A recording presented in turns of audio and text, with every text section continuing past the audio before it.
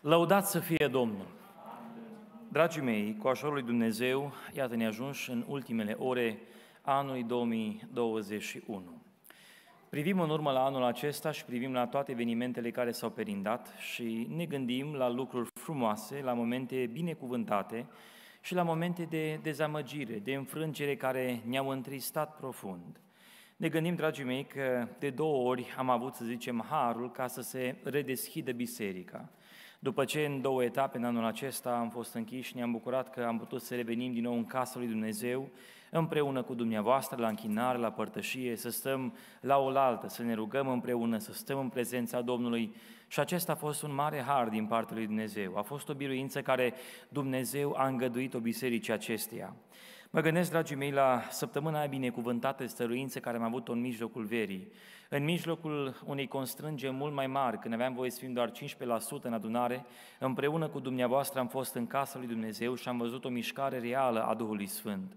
Un moment de părtășie când Domnul a botezat cu Duhul Sfânt, când Dumnezeu a binecuvântat cu har și când Dumnezeu în fiecare seară a lăsat mărturii de vindecare și pentru aceasta noi spunem, preamărit să fie Domnul. L-am văzut pe Dumnezeu la lucru în anul acesta, dragii mei. Ne gândim la faptul că Dumnezeu a binecuvântat biserica cu copilași noi și dacă nu greșesc, cred că avem 25 de binecuvântări care s-au făcut anul acesta în adunarea noastră și a dat Dumnezeu binecuvântare familiilor.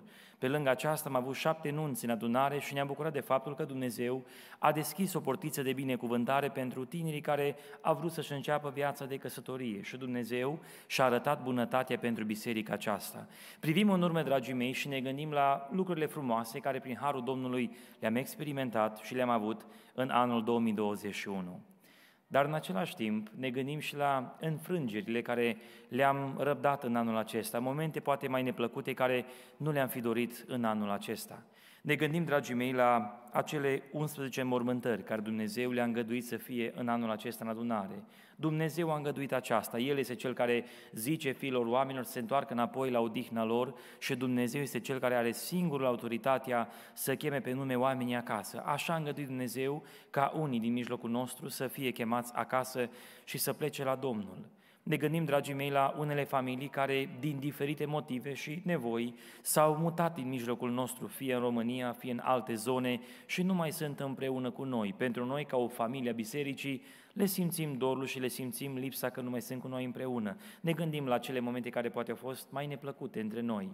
Ca de exemplu cele două lockdown-uri care le-am suferit împreună, în timp în care am stat închiși acasă, n-am putut să venim la adunare, n-am putut să fim împreună și ce frumoasă părea adunarea atunci când nu puteai să o ai, ce mult doream să fim împreună cu dumneavoastră la rugăciune, să auzim glasul rugăciunii, să auzim biserica cântând, să auzim aminul din adunare, cât de mult doream atunci acele momente și am trecut prin ele pentru că așa a îngăduit Dumnezeu, dragii mei.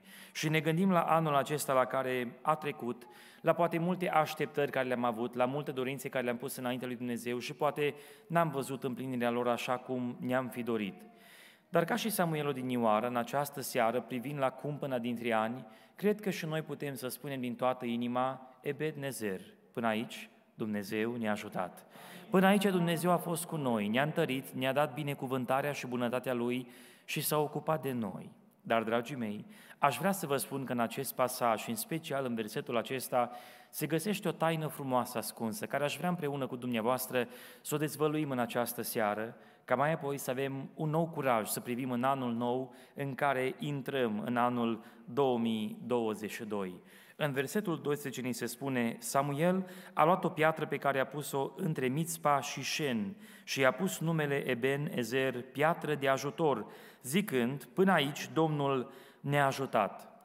Această piatră, dragii mei, despărțea două locuri importante, Mitzpa de o parte și de altă parte Shen. Și aceste două locuri sunt importante ca să le înțelegem, dacă vreți, într-o perspectivă culturală, profetică, ca să vedem ce înseamnă aceasta pentru anul în care noi intrăm. Mitzpa, dragii mei, era locul biruințelor parțiale pentru Israel. În versetul 11 ni se spune, pe bărbații lui Israel au ieșit din Mitzpa, au urmărit pe filisteni și i-au bătut până sub Betcar. Era locul unde Dumnezeu a dat niște biruinți, dar au fost biruinți parțiale, n-au ajuns să biruiască pe deplin, ci într-o proporție îngăduită de Dumnezeu, au avut o, o biruință la Mitzpa. Mitzpa a fost locul pocăinței, locul plângerii, locul în care poporul s-a smerit înaintea Domnului. Mitzpa a fost locul înfrângerii, când oamenii și-au dat seama de ceea ce au pierdut din prezența lui Dumnezeu. Aceasta reprezenta Mitzpa, dragii mei. De cealaltă parte era Shen, care în traducere literală din ebraică înseamnă dinte. Era o stâncă zimțuroasă care stătea în față, ca un fel de stâncă plină cu multe tăieturi în ea și această piatră era înaintea lor. Se interpretează că în 1 Samuel, capitolul 14, cu versetul 4, se vorbește despre același loc. Între trecătorile care căuta Ionatan să ajungă la straja filistenilor, era un pisc de stâncă de o parte și un pisc de stâncă pe cealaltă parte. Unul purta numele Boțeț, cealaltă Sene. Și comentatorii Biblii spun că acest Sene ar fi același loc cu acest Shen, care îl identifică aici Samuel. Între Mitzpa, între locul înfrângerii, pocăinței și biruințelor parțiale și Shen, un loc zimțuros care era un nou început, care era greu de trecut, se pune această piatră de hotar, piatră de ajutor și se exprimă. Până aici Dumnezeu ne-a ajutat, până aici Dumnezeu a fost cu noi. Privim și noi, dragii mei, la anul 2022 și reprezintă un șen pentru noi, reprezintă o stâncă zimțuroasă care ne pare să ne sperie. Până aici știm ce am trecut, știm ce am experimentat. Am trecut prin lockdown, am trecut prin restricții, am trecut prin multe alte măsuri și știm cum le-am gestionat până aici. Ce ne stă în față încă nu știm. După cum se întrezărește, dragii mei, zile prea frumoase nu se pare să fie în față. După cum se observă, un pic parcă ne speriem de ceea ce ne stă înainte. Și totuși, vrând nevrând, ne stă în fața această, această stâncă numită șen, acest spis care este greu de urcat. În schimb, între cele două locuri, dragii mei, între biruințele parțiale a anului 2021 și între începutul nou, care este destul de greu pentru noi în anul 2022, se pune aceste bednezer, această piatră de ajutor și se spune că până aici Dumnezeu ne-a ajutat. Și în sensul acesta am intitulat mesajul în această seară Piatra din fața piscului. Există o piatră care se pune hotar în fața unui pisc nou care trebuie să-l urcăm, n-am trecut pe acolo până acum și nu știm cum va fi, dragii mei, dar avem o garanție că între noi și piscul acela, între ce am avut până aici și ce ne stă în față, există această piatră de ajutor. Și putem declara cu certitudine că până aici Dumnezeu ne-a ajutat. Mărit să fie numele Domnului. E bine, dragii mei, când vorbim despre Mitzpa, vreau să vorbim despre înfrângerile care s-au întâmplat la Mitzpa și mai mult, să vedem despre înfrângerile care mai devreme se întâmplă tot într-un loc numit Ebed-Nezer. Observați că din limba ebraică, de aceea vedeți în paranteză, Ebed-Nezer înseamnă piatră de ajutor. Era un fel de exclamație vis-a-vis de puterea lui Dumnezeu. Mai era un loc în Israel numit tot Ebed-Nezer până să-i dea Samuel acest nume acestei pietre și la Ebed-Nezer poporul ia o lovitură foarte puternică. 1 Samuel, capitolul 4, cu versetul 1. Chemarea lui Samuel a ajuns la cunoștința întregului Israel. Israel a ieșit înaintea filistenilor ca să lupte împotriva lor. Au tobărât lângă Eben-Ezer și filistenii stăbărâseră la Afec. Filistenii s-au așezat în linie de bătaie împotriva lui Israel și lupta a început. Israel a fost bătut de filisteni care au omorât pe câmpul de bătaie aproape 4.000 de oameni.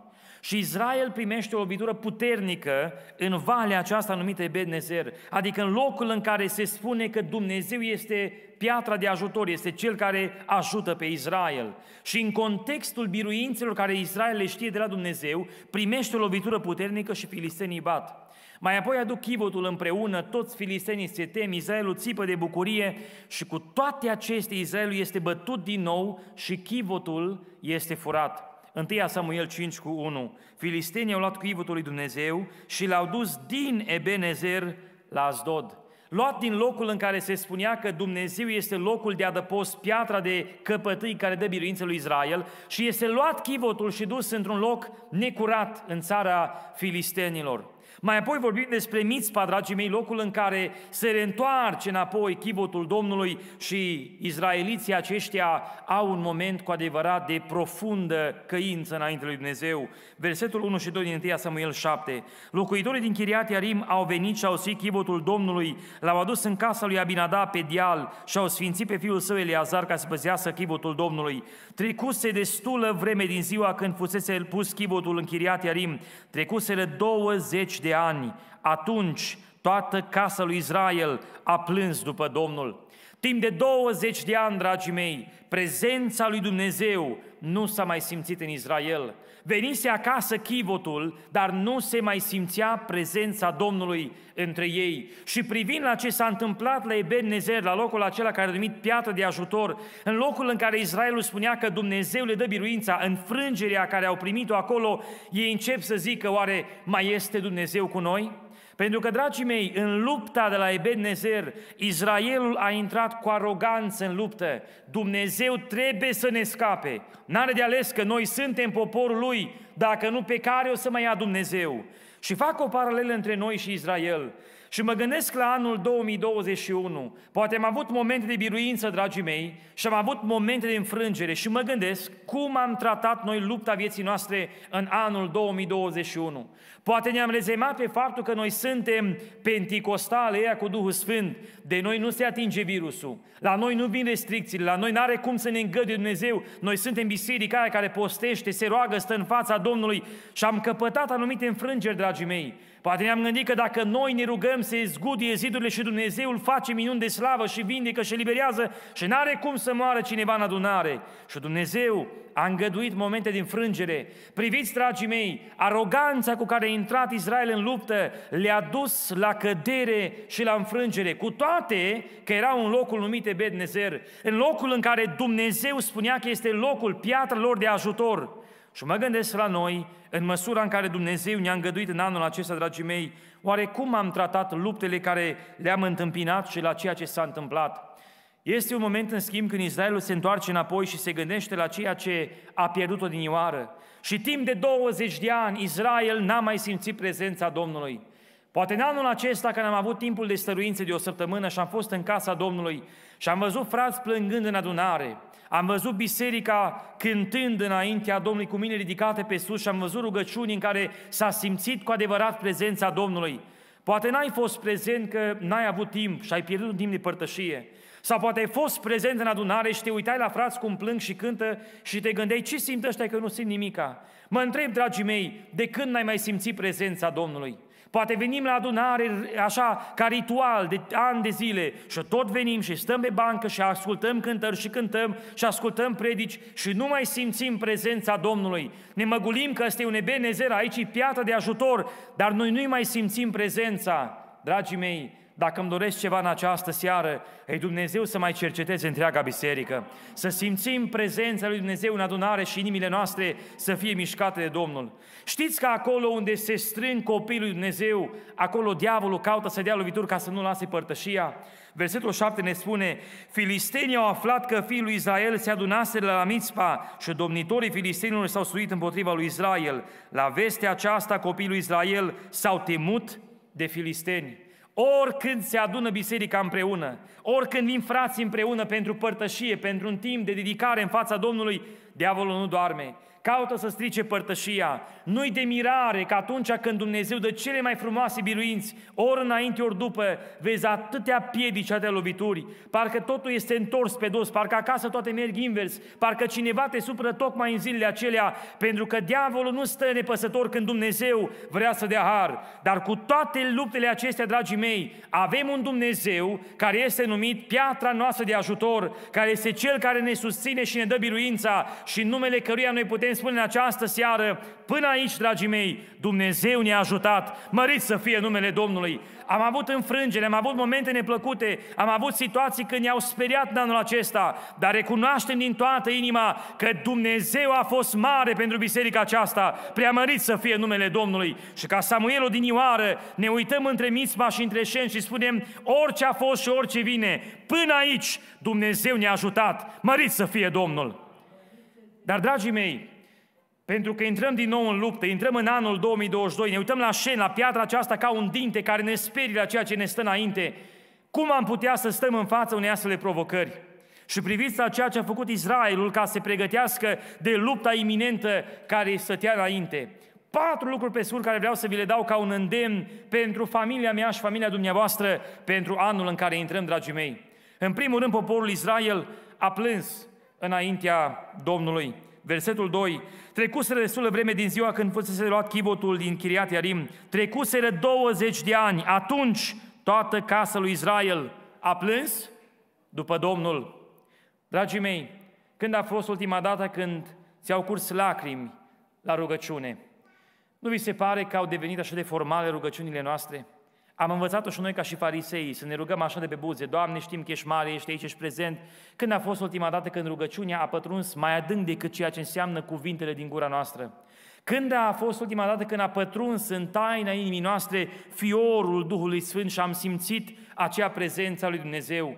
Știți ce înseamnă rugăciunea cu lacrimi, dragii mei? Înseamnă o smerenie profundă în fața lui Dumnezeu, care recunoaște înainte divinității că eu sunt un nimeni și un nimica și tot ce am vine din mâna lui Dumnezeu. În Iacov, în capitolul 4, apostolul ne învăța despre felul în care ar trebui să ne raportăm la rugăciune. Supuneți-vă darul lui Dumnezeu, versetul 7, împotriviți-vă diavolului și el va fugi de la voi apropiați-vă de Dumnezeu și El se va apropia de voi. Curățiți-vă mâinile păcătoșilor, curățiți-vă inima oameni cu inima împărțită, simțiți-vă ticăloșia, tânguiți-vă și plângeți, râsul vostru să se prefacă în tânguire și bucuria voastră în tristare. Smeriți-vă înaintea Domnului și El vă va înălța. Ne stă în față un an cu atât necunoscute și probabil multe familii în această seară se vor întâlni împreună în părtășia familiei. Și s-a planificat foarte mult cum să venim acasă și cum să ne organizăm. Fiecare a planificat până să parcheze mașina, ce mâncare se va pune la oaltă, cum o să stăm împreună, ce o să cântăm, ce o să uh, discutăm împreună. Multă bucurie, dragii mei. Dar câți dintre noi ne-am gândit să plângem în rugăciune în această seară ca Dumnezeu să binecuvânteze călătoria care ne stă în față. Știți că atunci când stăm în rugăciune și plângem și ne smerim, Dumnezeu pe cei smeriți îi înalță și le dă biruință. Dumnezeu, dragii mei, ar vrea să vadă la noi aceea stare de smerenie și mă rog Dumnezeu să ne ajute la aceasta. Când a fost ultima oară când partea noastră, componenta emoțională a fost pătrunsă de ceea ce înseamnă actul rugăciunii. Când rugăciunea a fost mai mult decât acele câteva cuvinte spuse pe genunchi ca să putem să continuăm mai departe. Cum se ruga cineva odinioară, Doamne, aici suntem, știi ce vrem, amin. Dragii mei, asta nu-i rugăciune. Dumnezeu ar vrea acea părtășie în care să stăm cu Domnul împreună. Fiul lui Dumnezeu, Iisus Hristos, care a văzut fața Tatălui și era una cu Dumnezeu, a stat nopți întregi în rugăciune și plângea înaintea Tatălui, ca să ne dea nouă pildă cum arată viața mea și viața dumneavoastră de rugăciune. Dragii mei, nu sunt lucruri prin care încercăm să sensibilizăm inima ca să mai spuneți un amin, ci aș vrea serios să ne gândim, dragii mei, să ne gândim în dreptul fiecăruia că ne stăm în față un șen care este așa de necunoscut și așa de greu. Până aici a fost Domnul cu noi, dar dacă vrem să vedem biruințe noi, dragii mei, hai să ne smerim înaintea Domnului și să mai dea Dumnezeu lacrimă rugăciune. Doamne, ascultă-ne la aceasta. Ca să avem biruințe, dragii mei, în anul nou în care intrăm în al doilea rând, este nevoie să le pădăm idolii din casele noastre. Versetul 4. Și copiii lui Israel au scos din mijlocul balilor, din mijlocul lor balii și astarteile și au slujit numai Domnului. Dragii mei, gândiți-vă la ceea ce înseamnă idolii moderni care sunt atot prezenți în casele noastre. Cineva va spune, eu n-am idol, frate, eu sunt pocăit, pentecostal, n-am verghetă, n-am cercei, n-am lucru de aur, n-am ce să arăt ca idol, eu sunt un om al lui Dumnezeu. Dragii mei, ascultați ce spune Apostolul Pavel, Efeseni, capitolul 5, un verset care probabil că ne poate pune pe gânduri pe unii dintre noi. Versetul 5, că știți bine că niciun curvar, niciun stricat, și acum auziți, niciun lacom de avere, care este un închinător la idoli, n-are parte de moștenirea în împărăția lui Hristos și a lui Dumnezeu. Auzi, de ce ți-ai cumpărat cu tare lucru? A, pe păi ce să rămân eu mai în urmă? Dar ne-ai văzut că toți și-au luat acum, toată lumea, e trendul vremii. De cum? Adică eu să nu am, stai, crezi că eu nu pot să-mi fac în casă cum și-a făcut și sora și fratele cu tare?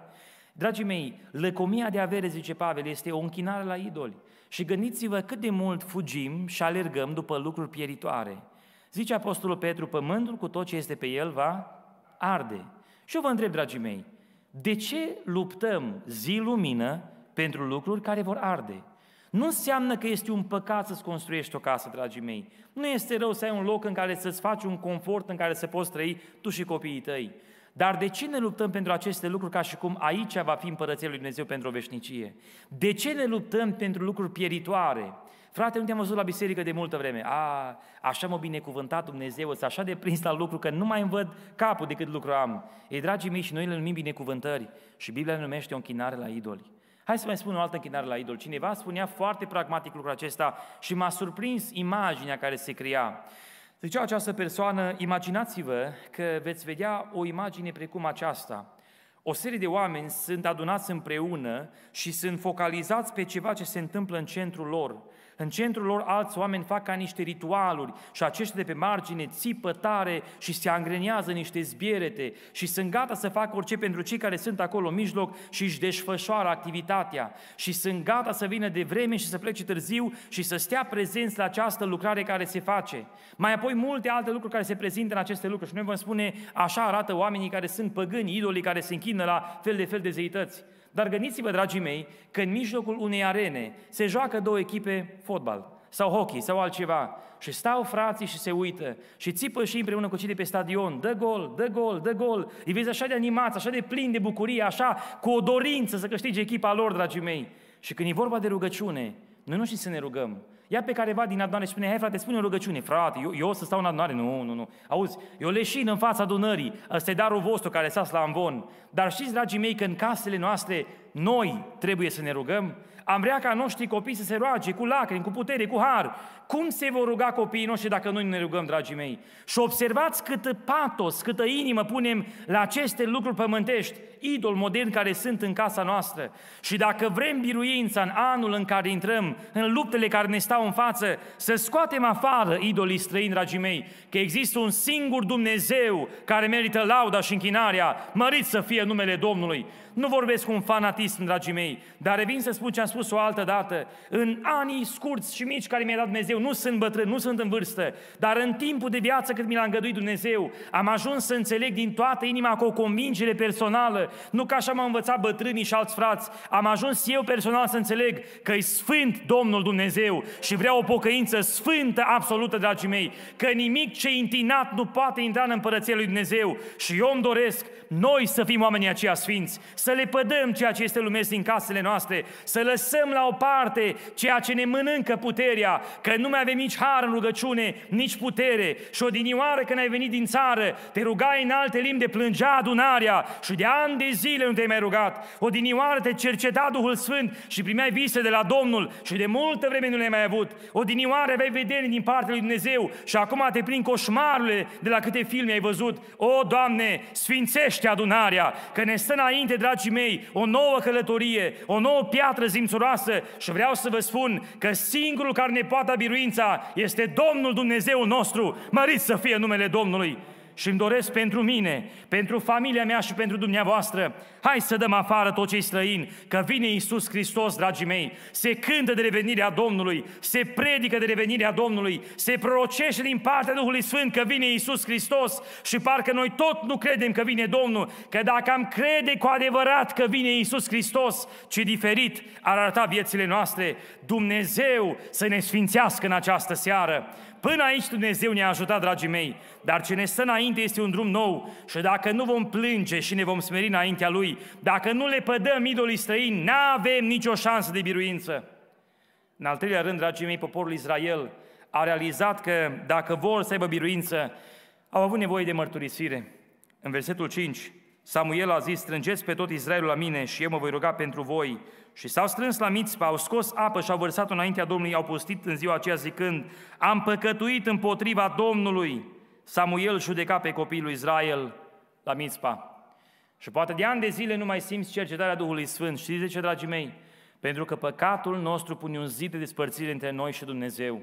Și avem așa fel de ideologii și pseudodoctrine care le-am inventat de lungul anilor. Frate, Eu m-am mărturisit Domnului. Bravo ție! Și cum uh, îți merge când te mărturisit Domnului? Păi știi că de fapt încă nu mă simt liber, dar așa se mai întâmplă, că eu m-am mărturisit Domnului. Dragii mei, am întrebat pe cineva odată, de unde ai scos acest verset că m-am mărturisit Domnului? Din Biblie. Știu că din Biblie. Știți de unde apare din Biblie, dragii mei? În psalmi, zice David. Mi-a mărturisit Domnului vina păcatului meu. Știți ce erau psalmii, dragii mei? Era harfa de cântări a poporului Israel. Așa cum avem noi cărți harfe prin adunare și le mai găsim din când în când ascunse printre o bancă, astea erau psalmi, era carte de cântări a poporului Israel. Și acolo undeva la numărul 45, uh, prin uh, cartea de harfe a lui Dumnezeu, Psa David face o cântare. Mi-a mărturisit Domnul vina păcatului meu și își mărturisește păcatul. Și în psalmul 51, David mărturisește păcatul lui. Iartă-mi vina sângelui vărsat, iartă-mi de ceea ce am făcut, nu lua de la mine Duhul tău cel sfânt. Aia e rugăciunea de pocăință lui David. Și o cânta întreg poporul, dragii mei. Ai mărturisire. Dacă vrei să te mărturisești Domnului, atunci vină la mine, scrie pe o foaie mărturisirea și duminică o citesc în fața poporului. Ferească Sfântul Dumnezeu. Da, da, asta înseamnă să mărturisești Domnului păcatul. Și dacă nu vrei să o faci public, atunci, dragii mei, hai să aplicăm metoda biblică. În Iacov, în capitolul 5, cu versetul 16, ni se spune astfel, Mărturisiți-vă unii altora păcatele ca să fiți vindecați. Cine sunt unii altora? Noi nici prietenul, nici colegul și nici tovarășul. Unii altora, în contextul acelui pasaj, sunt prezbiterii bisericii. Dacă este cineva în suferință să cheme pe prezbiterii bisericii, ca mai apoi spune, mărturisiți-vă unii altora ca să fiți vindecați. Dragii mei, vreau să vă spun, am trăit personal bucuria eliberării la mărturisire. Și am văzut personal bucuria eliberării la mărturisire în viața unor oameni. Am văzut persoană care s-a mărturisit după o viață lungă trăită, de un păcat care în tinerețe l-a trăit. Și acum la bătrânețe spunea, am nevoie să mă mărturisesc. Și am mărturisit păcatul și la un scurt timp după aceea când am întâlnit acea persoană spunea, parcă plutesc, parcă zbor, îl simt pe Dumnezeu în inima mea, mai liberat Dumnezeu, așa de bucuros sunt, îl simt că Dumnezeu s-a atins de mine. Pentru că, dragii mei, este metoda lui Dumnezeu ca să ne elibereze. Măriți să fie numele Domnului! Căci dacă ne mărturisim păcatul, 1 Ioan 1 cu 9, El este credincios și drept ca să ne ierte de orice păcat, de orice fără de lege. N-ai vrea să scapi de povara care o duci de ani de zile. Te rogi și n-ai putere. Te rogi și nu mai simți har. Nu mai simți bucurie. Când vezi că alții plâng și tu nu poți plânge. Vezi că alții se bucură în și tu stai așa încruntat între frați. De ce ești? De ce vrei să duci povara și în anul 2022 cu tine? De ce ne vrea să o lași la picioarele lui Isus Hristos? Că Isus Hristos este Cel care dă eliberare. Mărit să fie numele Domnului. Și intrăm, dragii mei, în acest drum nou și este nevoie, în a patrulea rând, de mijlocire. Versetul 8 și versetul 9 ne spune Și au zis lui Samuel, nu înceta să strici pentru noi către Domnul Dumnezeul nostru ca să ne scape din mâna filistenilor. Samuel a luat un miel sugar și l-a dus întreg ca ardere de tot Domnului. A strigat către Domnul pentru Israel și Domnul l-a ascultat. De ce nu dă Dumnezeu biruință? Dar de ce nu ne rugăm ca să dea Dumnezeu biruință? Păi să se roage frații. De atâtea ori primim telefoane ca și slujitori. Frate, rog, roagă-te pentru mine, așa într-o situație sunt. Dar eu pun o întrebare, tu te-ai rugat pentru tine? Păi frate, ă, Dumnezeu mai mult te ascultă pe tine, că tu ești robul lui. Să te rogi tu pentru mine, că eu, eu slab și păcătos și... Știți că spune tot Apostolul Iacov că mare putere are rugăciunea fierbinte a celui neprihănit, și noi spunem că neprihănitul e păstorul. Doamne, dă să fie așa, Domnul să sfințească toți slujitorii bisericii acesteia. Dar știți că neprihăniți sunt toți mântuiții prin Isus Hristos, Domnul? Că El ne-a făcut pe noi neprihănire în fața Tatălui, nu prin faptele noastre, prin jertfa sfântă de la Calvar. Și Hristos, dragii mei, ne-a făcut neprihăniți înainte lui Dumnezeu, ca eu și cu tine împreună să venim cu rugăciunea și cerul să ne asculte pe altarul lui Dumnezeu, să se pună rugăciunea noastră, lăudați să fie numele Domnului și nevoie de mijlocire, să insiști în rugăciune, să stai înaintea Domnului. Câte mărturii am avut în anul acesta că Dumnezeu a ascultat rugăciunea bisericii acesteia și o laud pe Dumnezeu pentru aceasta. Câte biruințe n-am văzut și mărturii de vindecare că Dumnezeu încă mai ascultă rugăciunea. Preamărit să fie Domnul și are Dumnezeu metode de a lucra, dragii mei. Dar ai nevoie de mijlocire. Știți cum vine biruința Domnului? Versetul 10. Pe când aducea Samuel arderea de tot, filistenii s-au apropiat să bată pe Israel. Domnul a tunat în ziua aceea cu mare vuiet împotriva filistenilor și i-a pus pe fugă. Au fost bătuți dinaintea lui Israel. Știți ce este așa ironic? Baal, care era unul din Dumnezeii filistenilor, știți că era numit Dumnezeul tunetului? Și în ziua aceea, Dumnezeul lui Israel a tunat din cer și a bătut pe filisteni, arătând Dumnezeu că nu este nimeni mai mare ca Domnul Dumnezeul nostru. Și, dragii mei, apar virus, apar probleme, apar oameni din guvernare și apar multe alte forțe care se exprimă. Există un singur Dumnezeu care are toată puterea în cer și pe pământ și Dumnezeul acesta e Dumnezeul meu și Dumnezeul tău. Dumnezeul acesta a spus că va fi cu noi până la sfârșitul zilelor și în mâna sa ține întreaga istorie. Mă ține și pe mine, te ține și pe tine. Ce mare har să-L avem pe Dumnezeu de partea noastră, să ne apere Dumnezeul slavei și Dumnezeul acesta e mai mare ca și COVID-ul, e mai mare ca și oamenii, e mai mare mare ca și guvernul, Dumnezeul nostru este pe tron, mărit să fie numele Domnului. Și între Mitzpa și Șen, dragii mei, Samuel pune o piatră și zice, Eben Ezer, piatră de ajutor. Cine era piatra aceea, dragii mei? Zicea Dumnezeului Moise în Exod 17, Eu voi sta pe stânca din Horeb și voi fi înaintea ta. Îl găsim apoi în Psalmul 19 cu ultimul verset, Doamne, stânca mea și izbăvitorul meu. În Psalmul 95, Domnul stânca mântuirii mele. Și zicea Domnul Iisus Hristos, pe stânca aceasta, pe piatra aceasta, voi zidi biserica mea și porțile locuinței morții nu vor birui. Și piatra și stânca aceea, știți cine era, dragii mei? Ne spune în 1 Corinteni 10 cu versetul 4, toți au băut din aceeași stâncă din care era o apă duhovnicească și stânca era Hristos mărit să-i fie numele.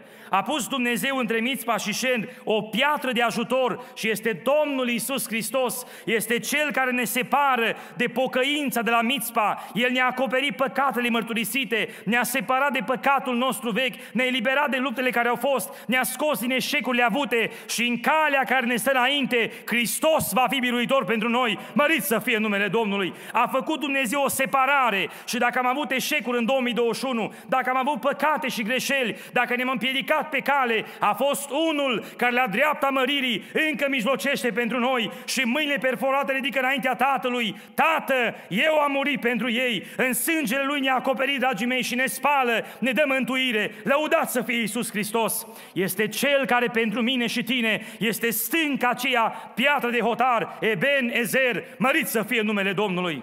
Și s-a interpus între noi, între Mitzpa și între Șen și este pentru noi protecția dată de Dumnezeu.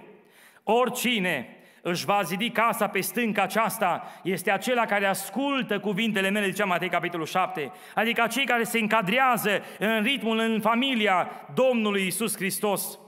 Iubiții mei ascultători, privim către un drum nou care ne stă în față și ne gândim cum vom face, vom face față la multele situații care vor apărea vreau să vă spun că este un Dumnezeu care a promis că va fi și este cu noi. Și dacă ne supunem înaintea Lui în aceste metode care El le-a dat, dragii mei, și nu sunt grele, dacă îți cerea Dumnezeu jumătate din avere, aș fi înțeles că ți era greu. Dacă spunea Dumnezeu, scoate un morghiș din casă, dă la cineva și atunci te ajut. Aș fi înțeles că ți greu. Dacă îți cerea Dumnezeu un milion de dolari, spuneai, Doamne, n-am de unde, că nu am. Dar nu ți-a cerut Dumnezeu nimic greu. Ți-a cerut să plângi în rugăciune și El îți dă lacrimi când vrei să stai înaintea Lui. Ți-a cerut Dumnezeu să te smerești înaintea Lui și îți dă har în smerenie. Ți-a cerut Dumnezeu să-ți mărturisești păcatul și Dumnezeu iartă când te mărturisești. Ți-a cerut Dumnezeu să stai în rugăciune și El ascultă rugăciunea. Lăudat să fie Domnul. Dacă îți cerea greu, n-ai, ceva greu, n-ai fi făcut, dar ți-a cerut ceva cel mai simplu lucru și la cele ne împiedicăm. Eu îmi doresc în anul acesta să ne ajute Dumnezeu să fim oameni sfinți în toată purtarea noastră și să-L onorăm pe Dumnezeu în viața și în trăirea noastră. Ebenezer, piatră de ajutor și l-a pus Dumnezeu pe Iisus Hristos în mijloc, între Mițpa și Treșen, să fie protecția noastră. Ne-a acoperit de ceea ce a fost greșit și ne dă biruință în ceea ce ne stă înainte. Auziți frumusețea care este când stai sub stânca aceasta. Versetul 14. Cetățile pe care le luaseră filistenii de la Israel s-au întors înapoi la Israel, de la Ecrom până la Gad, cu ținutul lor. Israel le-a smuls din mâna filistenilor. Adică, dragii mei, n-ar fi frumos ca în anul acesta Dumnezeu să smulgă din mâna celui rău pe copiii noștri care au ajuns de multă vreme luați robi? N-ar fi frumos în anul acesta să auzim biruințe noi a unor situații care le-am pierdut în luptele vechi? N-ar fi frumos să-L vedem pe Dumnezeu la lucru în adunare, dragii mei? Să știți că mâna Domnului nu-i prea scurtă, Dumnezeu încă lucrează. Și după cuvântul Duhului Sfânt vorbit în adunare, Dumnezeu va grăbi lucrarea biruințelor și a mântuirii, pentru că e gata să se reîntoarcă înapoi pe nori. Și de aceea, dragii mei, haideți să ne apropiem de Domnul, ca în anul 2022 să putem mărturisi noi biruințe cu Ebenezer, stânca noastră de ajutor, Dumnezeu să facă aceasta pentru noi. Și intrând în anul acesta, să putem să fim cu adevărat ocrotiți la adăpostul lui Dumnezeu, care poate să dea mari biruințe. Aceasta îmi doresc pentru mine și pentru dumneavoastră în anul 2022. Hai să ne pocăim, dragii mei, hai să ne apropiem de Domnul, hai să lăsăm ceea ce lumesc, hai să nu mai gonim în vale, că vine Iisus Hristos și dacă ne va găsi luptând și lucrând pentru El, ferici de robul pe care stăpânul său la venirea sa va găsi făcând așa, noi să fim robii aceia care să-L slujim pe Dumnezeu cu sinceritate, cu pocăință și cu milință. Doamne, ajută la aceasta. Amin. Ne ridicăm cu toți în picioare, dragii mei. Și precum am făcut la ultimele programe, aș vrea și în această seară să fac pentru noi. Aș vrea să citesc în auzul dumneavoastră binecuvântările din carte de Deuteronom, capitolul 28. Să le rostesc pentru dumneavoastră și îmi doresc ca Dumnezeu să le împlinească pentru dumneavoastră. După care împreună vom spune acele câteva cuvinte din Iosua 24 cu versetul 15 în care vrem să ne angajăm să-L slujim pe Dumnezeu. Ascultați, iubite biserică, binecuvântări care le doresc pentru familiile dumneavoastră. Dacă vei asculta de glasul Domnului Dumnezeului tău, păzind și împlinind toate poruncile Lui pe care ți le dau astăzi, Domnul Dumnezeul tău îți va da întietate asupra tuturor neamurilor de pe pământ. Iată toate binecuvântările care vor veni peste tine și de care vei avea parte dacă vei asculta de glasul Domnului Dumnezeului tău. Vei fi binecuvântat în cetate și vei fi binecuvântat la câmp. Rodul pântecelui tău, rodul pământului tău, rodul turmelor tale, fătul vacilor și al oilor tale, toate acestea vor fi binecuvântate.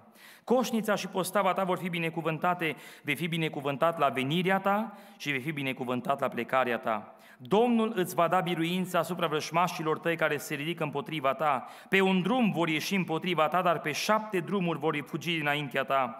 Domnul va face ca binecuvântarea să fie cu tine în grânarele tale și în toate lucrurile pe care vei pune mâna. Te va binecuvânta în țara pe care ți-o va da Domnul Dumnezeul tău.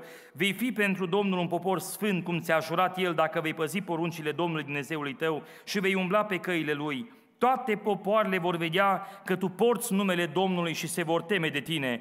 Domnul te va copleși cu bunătăți, înmulțind rodul trupului tău, rodul turmelor tale și rodul pământului tău în țară pe care Domnul a jurat părinților tăi că ți-o va da. Domnul îți va deschide comoare lui cea bună, cerul, ca să trimită țării tale ploaie la vreme și ca să binecuvânteze tot lucrul mâinilor tale. Vei da cu împrumut multor neamuri, dar tu nu vei lua cu împrumut. Domnul te va face să fii cap și nu coadă, totdeauna vei fi sus și niciodată nu vei fi jos, dacă vei asculta de poruncile Domnului Dumnezeului tău, pe care ți le dau astăzi, dacă le vei păzi și le vei împlini și nu te vei abate nici la dreapta, nici la stânga, de la toate poruncile pe care vi le dau astăzi, ca să vă duceți după alți Dumnezei și să le slujiți. Acestea sunt binecuvântările care le doresc pentru familiile bisericii acestea, dragii mei. Și acum vrem înainte lui Dumnezeu să ne angajăm în anul în care intrăm să-L onorăm pe Dumnezeu în tot ceea ce vom face. Afișăm versetul, dragii mei, care vreau să îl spunem cu toți împreună din Iosua, din capitolul 24 și haideți să rostim cu toată biserica împreună. Cât despre mine, eu și casa mea vom sluji Domnului. Așa să ne ajute Dumnezeu. Haideți împreună să ne rugăm în această seară și să-i cerem lui Dumnezeu să El să ne ajute la aceasta.